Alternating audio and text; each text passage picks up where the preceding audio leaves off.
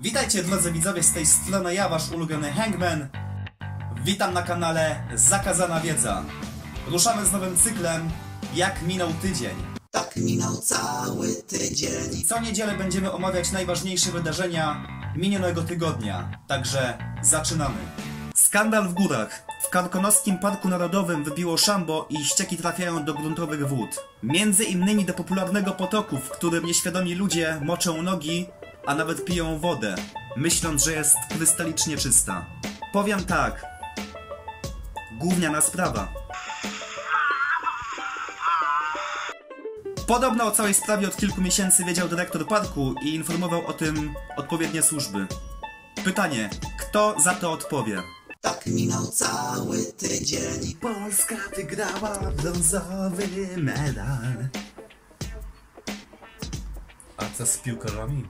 Tak minął cały tydzień. W Kętrzynie grasował fan jajek. Mężczyzna włamał się dwa razy do tego samego domu, po czym przyrządził sobie jajecznicę. Jajecznica, jajecznica, jajecznica. Gospodarze musieli mieć wyjątkowo dobre jajka. Z czego one były? Skóry?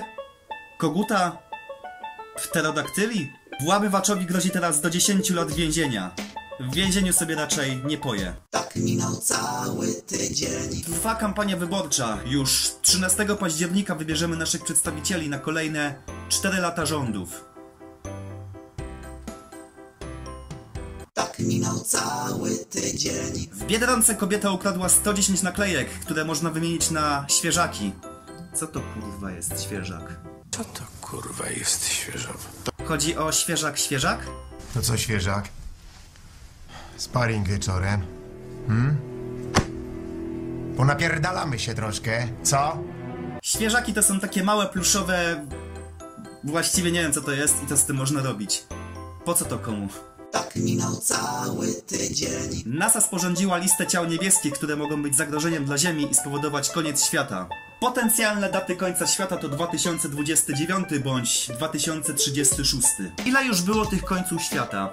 Na początku milenium, na koniec milenium. W 2012. Nie no, w 2012 był koniec świata, jak Polska zagrała na euro. Generalnie chodzi o to, że było już tyle przepowiedni i dat na temat końca świata, że tego tak naprawdę nie da się przewidzieć, bo tego nikt nie wie. Nikt. Koniec świata będzie, jak mój kanał będzie mieć 1000 subów.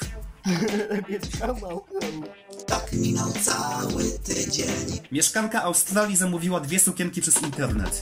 Zamiast nich otrzymała 25 tysięcy tabletek ekstazji o wartości pół miliona euro. Swoją drogą ciekawe jak to działa.